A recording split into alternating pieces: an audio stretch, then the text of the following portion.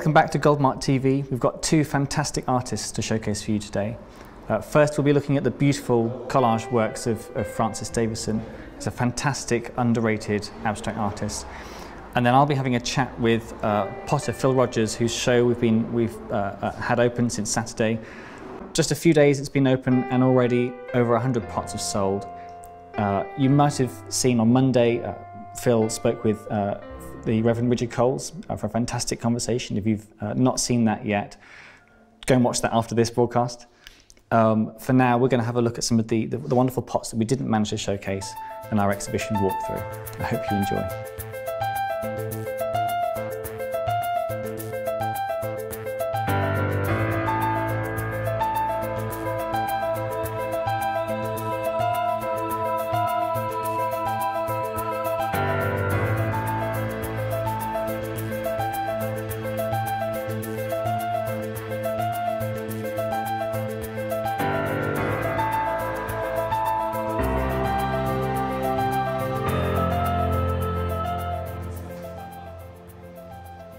I've always loved the work of Francis Davison, but I don't really know if I can articulate why.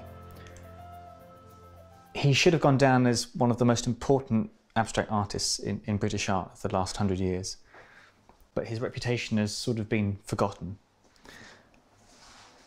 This is a wonderful late Davison collage, and you can see the elements of the real world around him that he used uh, in these abstract collages the furrows of fields, the hedgerows in the Suffolk countryside around him.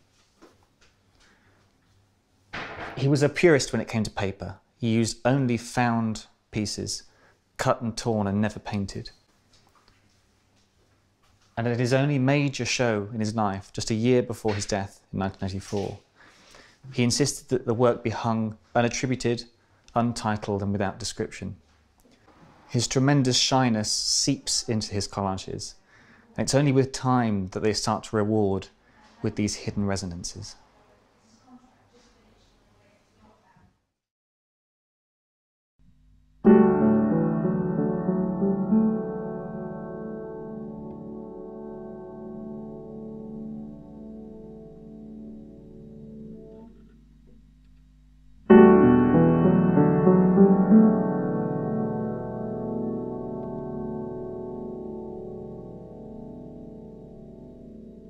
Davison was a, a young student of English at the Cambridge University, and he'd actually initially intended to become a poet. But in 1946, he was introduced to the group of artists working in St Ives by his fellow classmate and, and abstract artist Patrick Heron. The commune of, of artists to whom he was introduced at St Ives had really almost grown by accident. The artist Margaret Mellis and her husband Adrian Stokes had invited Ben Nicholson and Barbara Hepworth and their three young children to stay with them uh, throughout the Second World War. They developed a, a kind of uh, abstract language that drew much on the on the landscape around them and interior scenes, reducing what they saw to sort of plain blocks of uh, and, and, and sort of vistas of, of colour. At the time, Davison was going through a, a, a messy end to his marriage, and Margaret Mellis was separating from Adrian Stokes. It was in St Ives that they first met, that they fell in love, and that Mellis first started to teach Davison how to paint. Soon after they met, Mellis and Davison married. They spent their honeymoon in Venice, where they painted the gondolas from their balconies, and then they spent a year in Cap d'Antibes with Patrick Heron. Davison and Heron would wander around the cliffs. They went and met Matisse, who was then ailing, and they went to the, uh, the cliff tops and found the rocks where he'd painted views of the, Mediterranean Sea out uh, in front of him, and the rocks where the paint had been mixed on the sides of the cliffs. He went on honeymoon with Margaret to Venice, and they both painted considerably there. Um, you'll see in one or two of these Venetian pictures the same balcony reappearing time and time again. His colours at this stage are very bright, very sun related, and one could almost say that they could well have influenced some of Patrick Heron's later colour sense rather than the other way around. I do, I do think that these, these eyes in the front of the boat are particularly interesting. And later on in, with the collages, uh, he used the idea of breaking up a form with uh, sticking another piece of paper in the middle of that form. Just taking that idea that you can break a form up with a smaller form was a very important part of the actual development of the collage. After the honeymoon, Davison and Mellis went to live in the south of France. And he continued to paint at Cap d'Antibes and a number of these of yachts, lighthouses, and almost tropical foliage um, show the same strong colours that he was using in Venice. He's now decided, in a way, I'm not going to represent in this. I'm using these shapes, but I'm also going to use colour in an abstract kind of way, and so the colour is extended. It is, it is uh, in the same way as when he started to use collage paper, he managed to get the best he could get out of that that uh, the colour of the paper. There are splashes of colour that reappear very occasionally. There's a little oil called Colourful Cottage, which suddenly sings out with those South of France colours. Um, but it, it's actually set in Suffolk in those early years and is a counterbalance to the muted forms that he's normally producing at that time. In 1950, the Davisons returned to England where they bought a rundown cottage in Suffolk, the only house they could afford. Almost immediately, Davison's sympathetic palette changed. The calico greys and greens, paper bag browns, uh, and chocolate shades of, of, of uh, torn paper and cardboard quickly supplanted the beautiful bright shades of Matisse and the Mediterranean. His sense of form began to change too, as the farmhouses, the fields, uh, the boats in nearby harbours started to, to influence Uh, his approach to, to the flat plane of the canvas. And in 1952, the same year that this collage was made, he turned his thoughts solely towards paper. Right, in here, this is where Francis used to work. He'd usually pin up the collage that he was working on on that wall here. And there was a, a bed where all the collages he was working on would be in this corner here. And then the books, and, uh, basically his collection of books. There's also some more books downstairs. But one of the ways we could identify which way up the collages were was just looking for the drawing pin holes. Um, because he would never, he would absolutely never um, want to tell anybody which way up it was, you know, anything, any history. It was an attempt to sort of present that particular thing in a particular kind of way for itself, you know. With the move from paint to paper came concerns about the juxtaposition of textures and lines and building up forms in a way that he hadn't been able to do with paint. Collage had its benefits too. Paper was cheaper than oils and the compositions could be stored more easily both before and after assembly. His compositions could be realised more quickly too, moving the scraps of paper around at will until he was happy with the final image. When Davison first started making collages, the colours he used had that sort of they still picked up the grey, the black, the brown, the beige, the tones almost of wartime. And again, probably the tones of a damp, wet East Anglia. These earlier collages are often smaller and more subtle in their colours, uh, limited as he was in the, in the types of paper that he could source. They're typified by this sort of rather lovely palette of uh, the natural tones of pulp and paper, the mustards, the little flecks of colour, and then the occasional foray into something a little sweeter, like this pink in here. With time, he grew more confident in size and scope, and over the next 30 years, that palette of mustards and browns and drab greys would expand, absorbing all kinds of different colours, and those miniature paper patchworks would grow to great, vast, expressive, expansive six foot collages.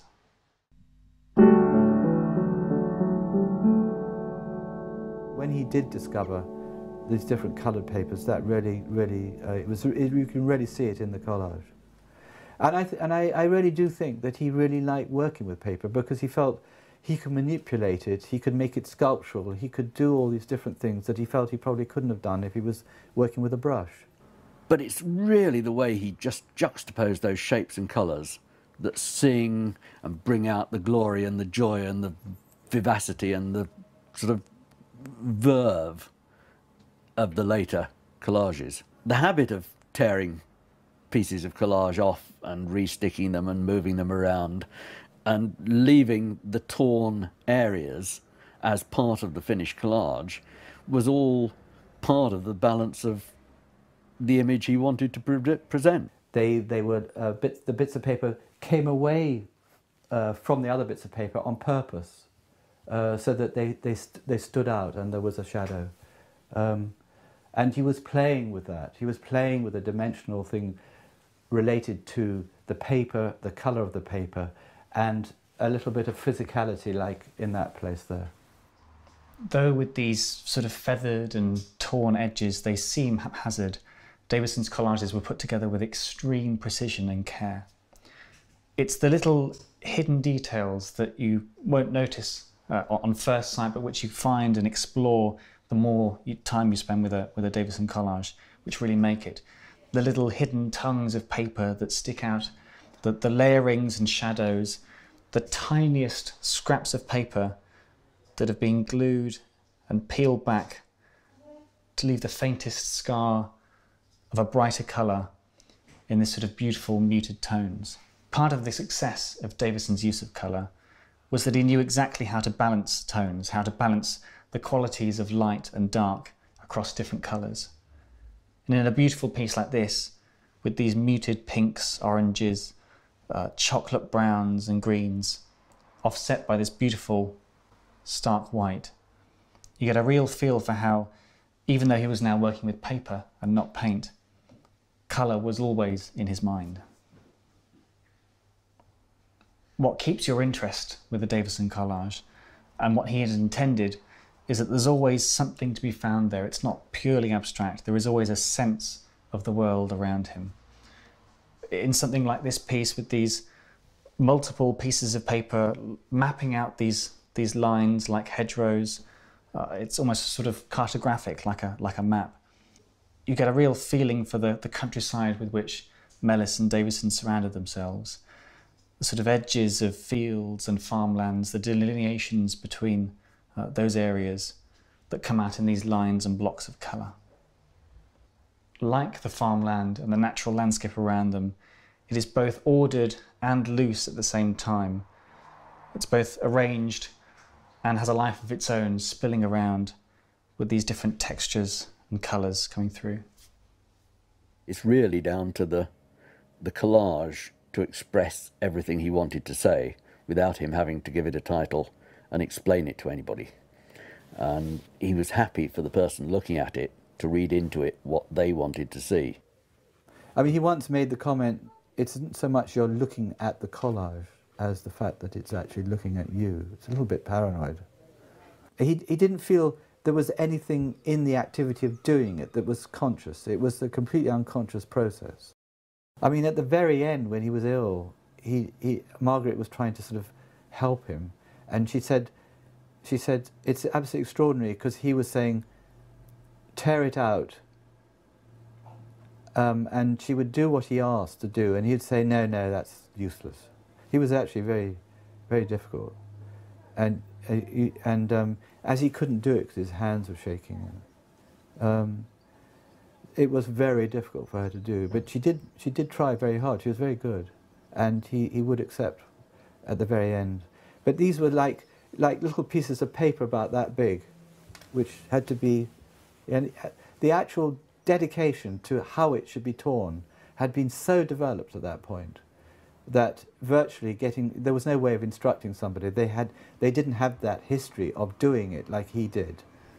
Davison had only one major show during his lifetime. That was at the Hayward Gallery in 1983 a year later he died leaving his estate almost completely intact with very few paintings and, and collages sold his desire for anonymity in that exhibition had probably come at a price and it was some years before his contribution to post-war abstraction has really been properly understood. The, the Hayward show was really the culmination of Davison's work insofar as it happened a year before he died, um, um, was the first time he'd had been in a really public exhibition space as opposed to a, a, a, commercial gallery space. That was an amazing strain. I mean, I think doing any kind of show of his work was horrendous for him to do. He couldn't really make that transition of being a, in the public or putting the work in the public. It had become such a private activity. There was one result of that show at the Hayward, which was that Damien Hirst saw it. And that was before Damien Hirst was known as, da as we know Damien Hirst. And he was blown away, as he put it. But um, that was such a chance thing.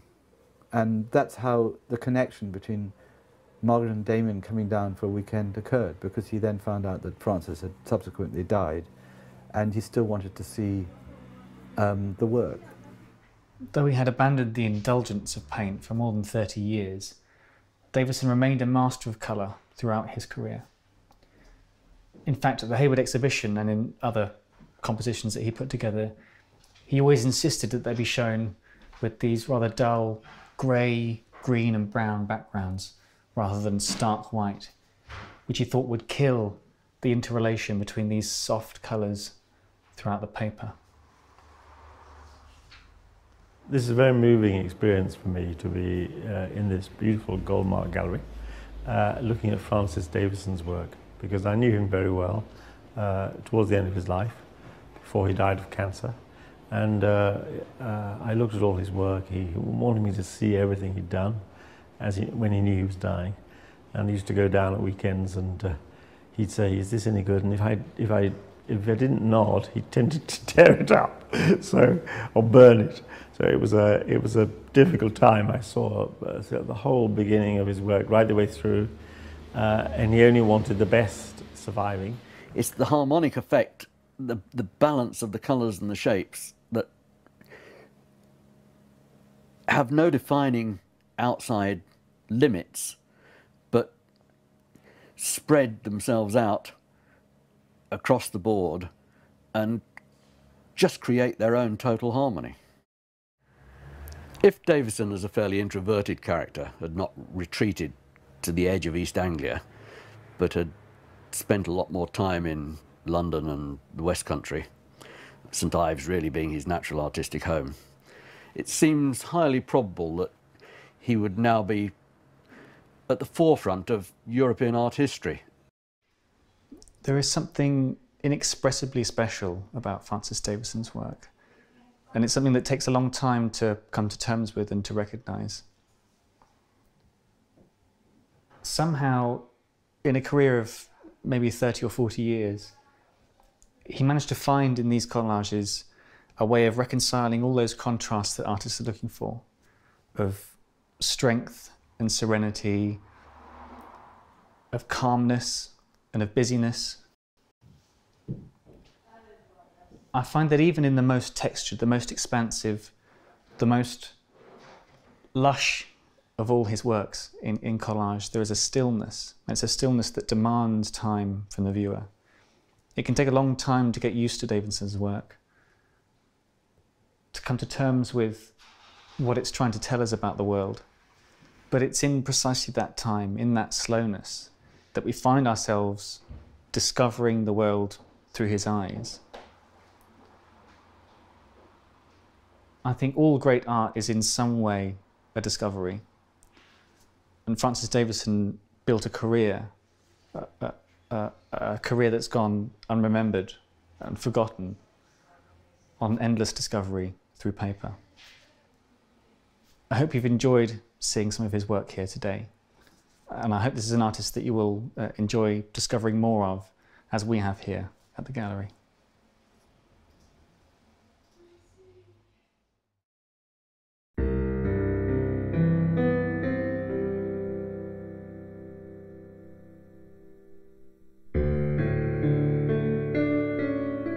Well, thank you for being with us here again, Phil. We're going to be taking a look at a couple of the, the pots we've not had a chance to showcase in the, in the exhibition.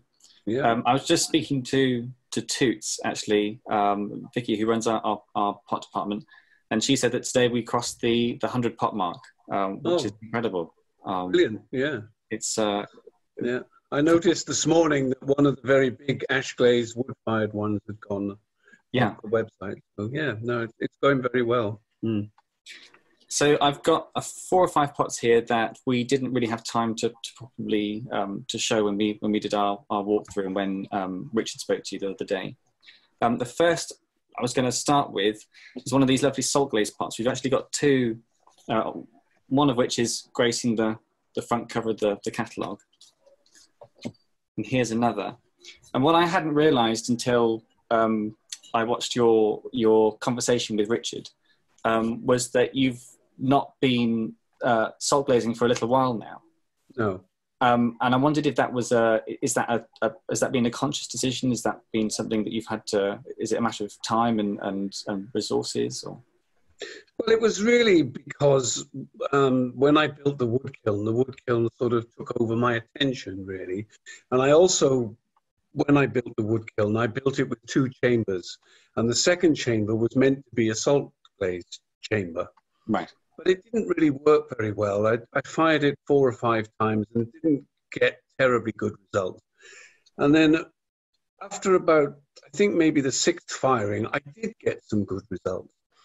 But when I looked at them, I realized that actually they weren't that very much different to what I was getting out of the oil fired salt kiln. Hmm. And um, of course, the wood kiln is such a lot more work. I thought this is crazy. And I, I didn't, I, after that, I changed that second chamber back to a wood fired chamber. And, um, and then about two years ago, I did a couple of firings in the oil fired salt kiln from and that pot you're holding now was from that firing. Yeah. And um, and I haven't fired it again since. But it came that firing came within the time frame of when I was collecting pots together for this exhibition. So that's that's how it is there. I was talking to, to Vicky about them and she said what she, what she really likes about them, what she really appreciates about your, your, the salt glaze pots that you've made is that um, a lot of the, the salt glaze work and the, um, the soda fired work that we, that we deal with is often, um, it's working with, with slips. It's often in that kind of either that dark, uh, that dark reddish or dark bluish color. Mm. Um, she was saying how nice it is to have um, the salt with the ash glaze and, and this lovely kind of um, this deep olivey color, um, which when you're so used to dealing with with with salt glaze of a particular kind, it's, it's quite refreshing actually to to see it like this. Well, there's a, there's a bit of a story to it.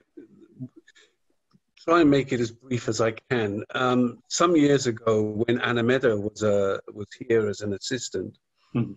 we were having a lot of trouble with the salt kiln, and we couldn't work out what the problem was. We were getting some awful results every firing, and um, during the time that it took me to sort it out, find out what the answer was, um, I found that by putting an ash glaze on the pots, uh, at least it meant that I got a pot out of the kiln that was uh, was okay and was saleable, because the slips at that time were not working at all. They were coming out rough and not very nice colours. And I discovered that I actually liked the, the the effect of the ash glaze in the salt kiln because what happens is the salt is a flux. It makes the, the glaze melt a little bit more. So you get those sort of rather runny, um, fluid textures that you get with the ash glazes, Mm. Heightened by the extra flux of the sodium in the salt. And you can see it on that pot, those rivulets of glaze that uh, are created by, by the salt.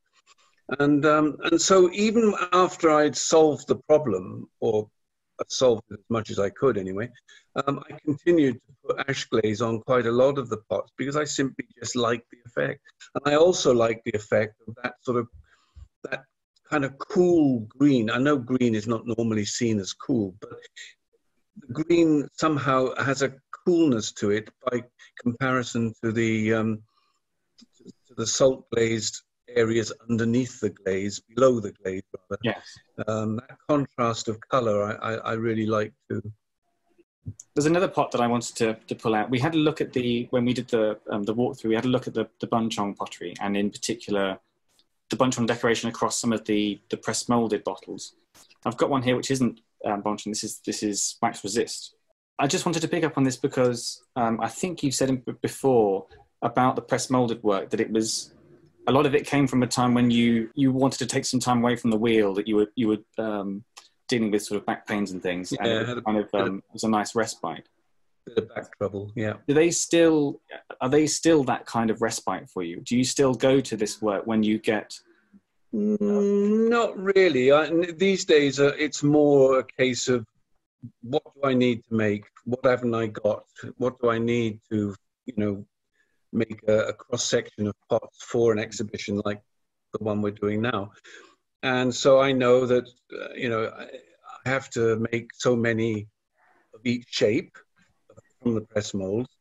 Um, and the problem with it is that people hear the word mold and they immediately think, oh, it's not handmade or anything, you know.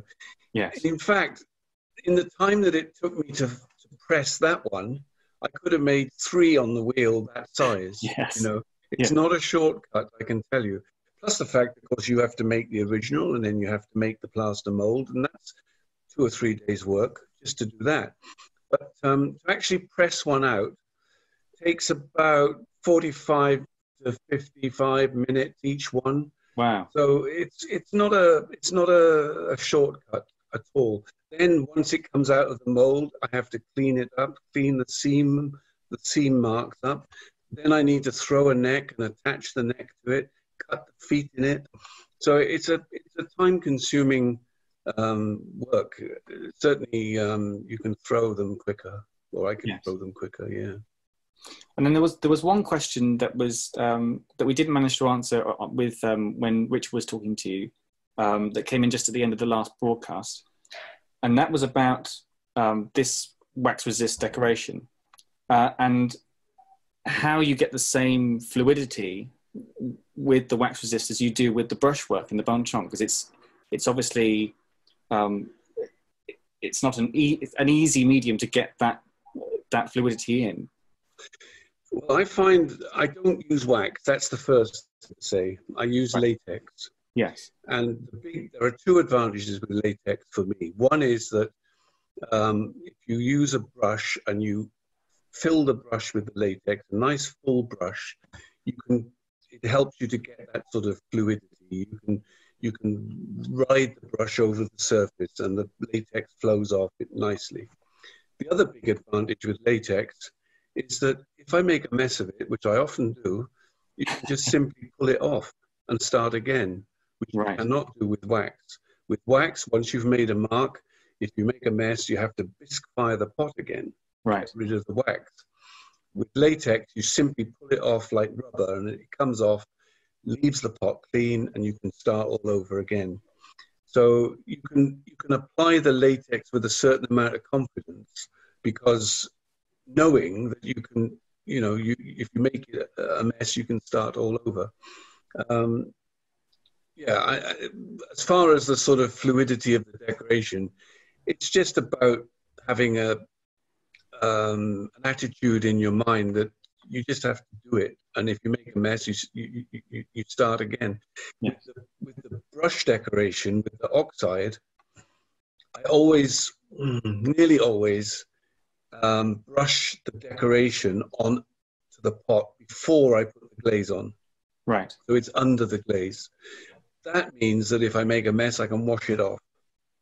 If I've already glazed the pot and I make a mess, I have to wash all the glaze off as well. Wow. the way I do it is a, the iron oxide goes on first. If I make a mess of it, I can wash it off. The pot is then wet and I have to dry the pot, but that's that's nothing to worry about too much, really. Um, at least I don't have to re-biscuit fire it, you know. It's interesting with with pottery from from a layman's perspective, which I which I have. Often it's the things that you wouldn't, certain things that you don't think about. Like you were mentioning that this, the length of time it takes you to put a, uh, to, to, work from the mold, to clean mm. up edges, whatever. It's um, it's often the things that we wouldn't, you wouldn't notice when you look at a pot that but you're not supposed to. Time and and and, and technique and and uh, and uh, persistence behind them. Yeah, the thing is, you're not supposed to notice. That's why no, we take. No. That's why we take time to clean it all up and get rid of the seam marks. You're not supposed to notice. But whenever I do a demo or a talk, I always make a point at some point of saying how much hard work pottery is and to make pots full time, the, the amount of effort and that goes into it, you know. And I think a lot of people don't quite realize um, how much hard work it is and how much of a potter's life is drudgery. You know, mixing yeah. glazes, mixing clay, cleaning the kiln, scrubbing the kiln shelves. Um, a lot of it is drudgery, and I spend. I probably spend less than a quarter of my time actually sitting on the wheel. The rest of it is packing a kiln. A kiln takes me a week to pack, glaze the pots and pack it, you know. Um, and the wood kiln, mm, probably eight or nine days to do the two chambers, to glaze everything and put it in.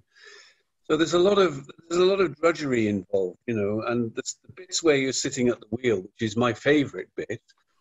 That's probably well, it is in the minority in, in terms of time spent. Yeah.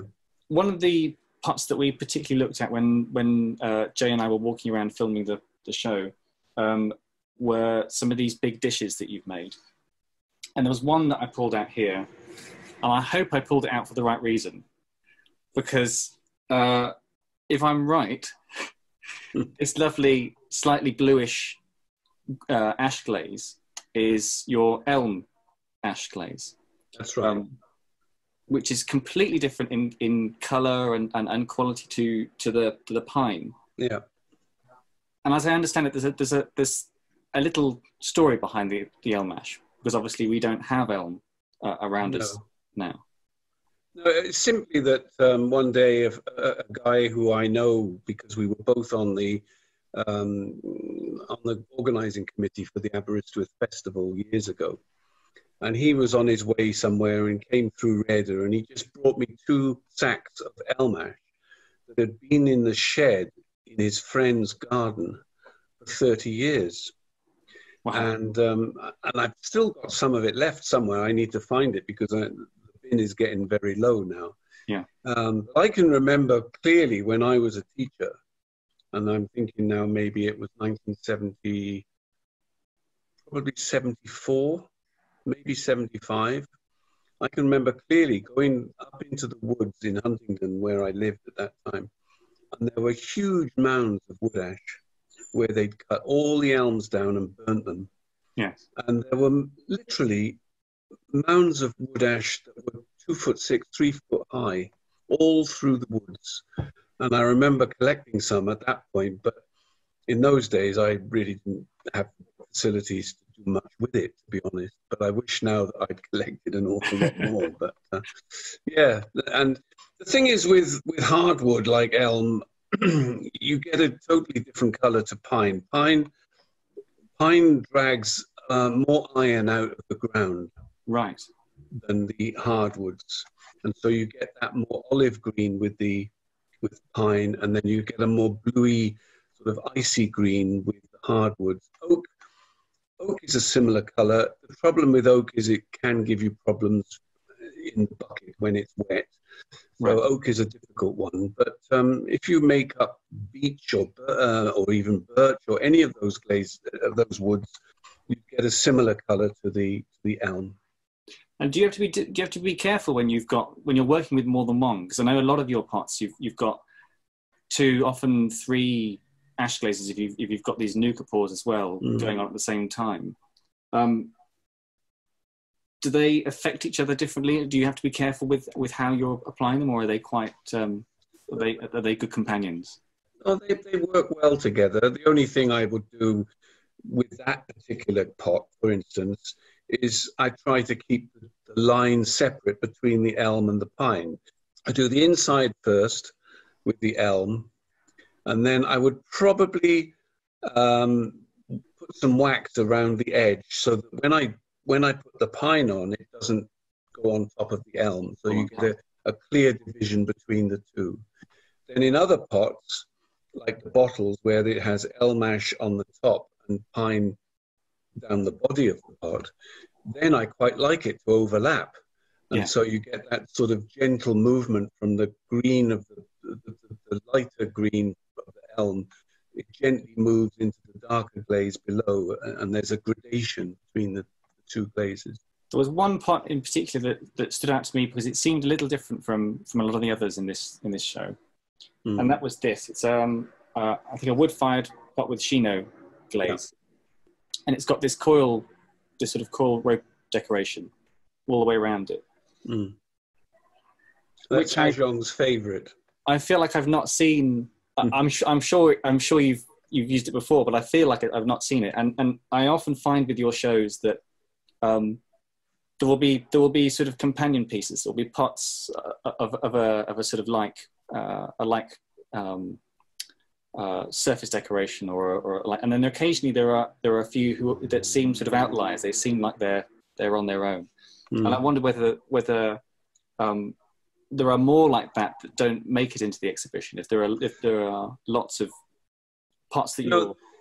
No, that was that was a bit of a sort of one-off, I suppose. The idea, I made a, maybe six or eight pots, and there are two or three others in the exhibition where I have faceted the lower third of the pot. yes Um, I just thought that was something slightly different to do with the faceting. Yeah. And then I just sat that one down and wondered what I could do with the rest of it, and um, that's what came to mind because probably the ropes were sitting on the table next to me as I sat on the wheel. So that was just something I did. I think I, I think I might have done another one, a smaller one, but I can't. I can't remember. Most of the ones I did with that faceted bottom third, I made an incised decoration through the top. One I know there's there's one in the in the exhibition which is Nuka. There's another one which Yes. is Tenmoku, I think. But that's possibly the only one I did in quite that way. I think it's really Um, lovely. I, I, like the um, that slight gold luster that you get with the with the shino, particularly. Yeah, well, it, Shino doesn't always do that. It has it has to be in the wood kiln to do that. It, Yes. it, it doesn't do that in the oil kiln. And what I what I tend to do is I use a a little bit darker clay than my normal clay clay that I use for the ash. And then I dip the whole pot into white slip.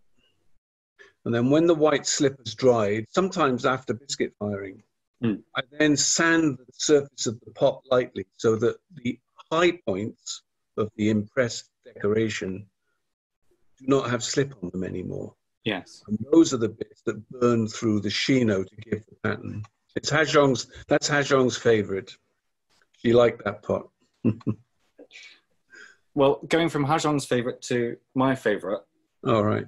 uh, I think of all the of all the glazes that you work with, I find that the Tenmoku really really speaks to me um, Mm, more mm. than anything else. There's something about that lovely, rich, deep black color that, that I, I think is, is really lovely, and it really suits these these big bottles with these um, sort of very big gestural decoration through them. And I wondered, looking at this, um, whether you have because you, you're working in so many different uh, different genres, whether you you have a particular favorite, a, a favorite glaze or a favorite form, and whether you find you have to sort of um, to coax yourself away from favorites and in, into into other areas, or whether you've been working in now in so many different um, aspects that, that, that you don't have favourites anymore or, or that they're changing maybe?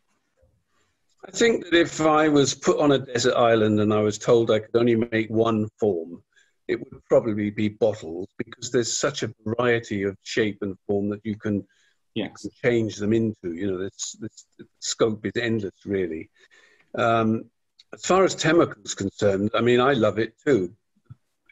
A few years ago, Tenmoku completely went out of fashion. Nobody wanted it. You couldn't sell it. It was just hopeless. It's always been referred to as the potter's glaze because potters tend to love it. And but now, for some reason, in the last I don't know three, four, five years, it's kind of turned full circle and come back in in again, and people like it again for some reason. I don't know why. Um, I don't think I have. I think probably the bottle would be. There was a time when I would have said jugs. I used to enjoy making jugs. I, I just find now that there's a lot more variation and, and, and sort of endless scope within the bottle to bottle form to, to and sometimes you can make one um, and it kind of takes you by surprise. There's one in the exhibition. It's not a big one it's a small one and it's got a little line running around it. And then i've done a sort of alternate little incised plant derived pattern. I really like that pot, and it's only about six, in, seven or eight inches tall. It's not a big one at all, and it's just one that popped out of the ether. Really, I mean, it's just sometimes you can plan things as much as you like, and then sometimes some thought will pop into your head just as you're about to sort of decorate it, and and it works. Other times it doesn't work, but occasionally it just it just works, you know. And I really like that one. Um, so I probably, to answer your question, I think probably bottles, you know, simply because you would never be short of somewhere to go with it. You know, there's always going to be something that you haven't done. I like the idea of desert island, desert island potting. You, have yes. only got one there.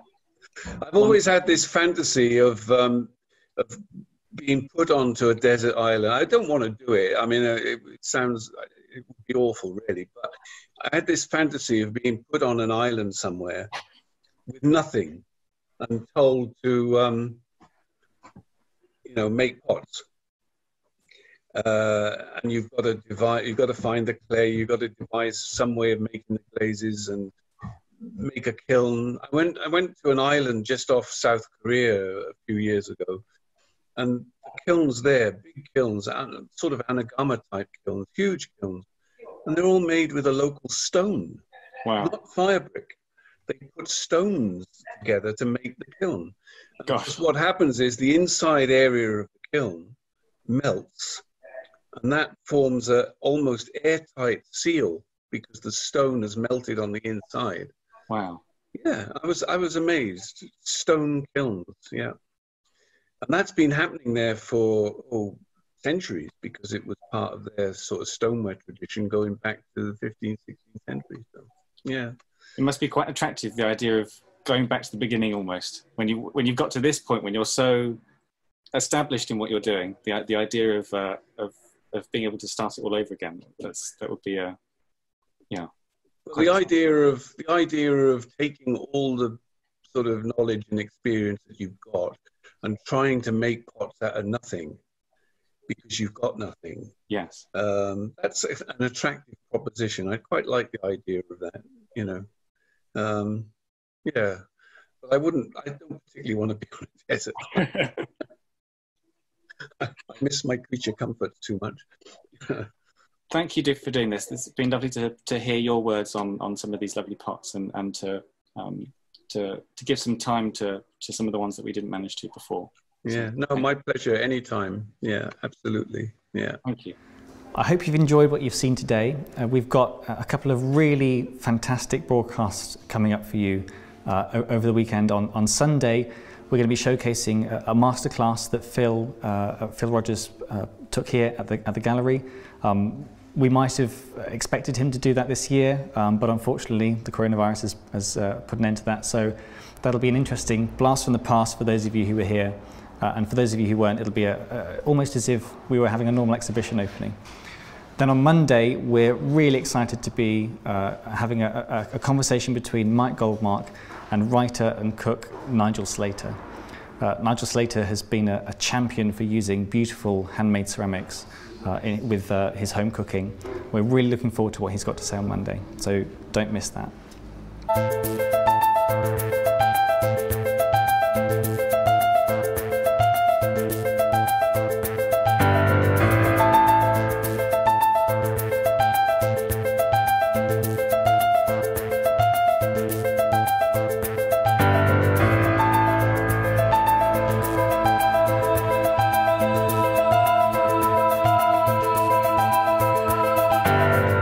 To uh, educate, entertain our customers.